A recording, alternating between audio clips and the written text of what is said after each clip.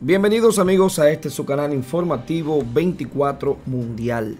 Se complica un poco la situación en el Atlántico y es que el Centro Nacional de Huracanes ahora le da un 10% de probabilidades de formación ciclónica a este sistema en 48 horas, pero para 5 días le daría un 20% de probabilidades y miren ustedes esta larga zona de disturbios como ahora abarca la isla de Puerto Rico por completo y podría además, por supuesto, azotar también lo que es la República Dominicana.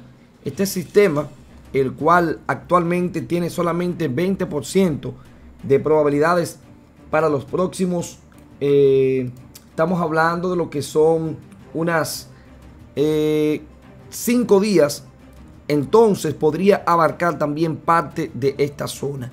El Centro Nacional de Huracanes mantiene una segunda zona con vigilancia en 20% de probabilidades.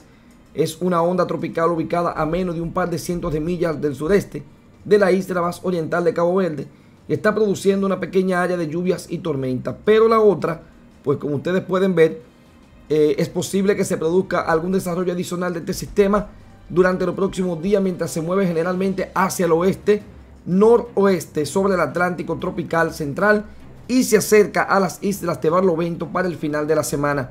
Es decir, que según el Centro Nacional de Huracanes, para el fin de semana estaría más o menos aquí, en este punto. Lo que después se iría por encima de Puerto Rico, cuidado con República Dominicana y este trayecto pues podría ser vigente en este sistema que tenemos nosotros aquí en formación actualmente en el Atlántico.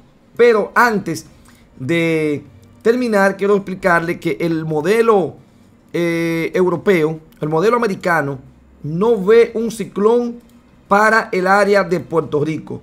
No lo ve ni siquiera para el miércoles 21. Lo que sí observamos es que el sistema pasaría por encima de estas islas como una quizás depresión tropical, porque miren ustedes como para el miércoles 21 cerca de Cuba, aquí viene saliendo la depresión que estuvo por este lado.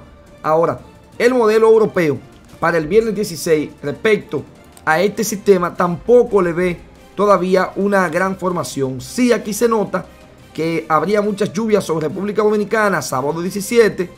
Ahí está la depresión tropical sobrepasando el territorio dominicano. Aquí estaría sobre Cuba, pero no ve formación ciclónica. Esperemos que esto se mantenga aunque aquí sobre las Bahamas, para la fecha del miércoles 21, vemos que el mismo sistema se coloca muy cerca de la Florida. Somos informativo 24 mundial.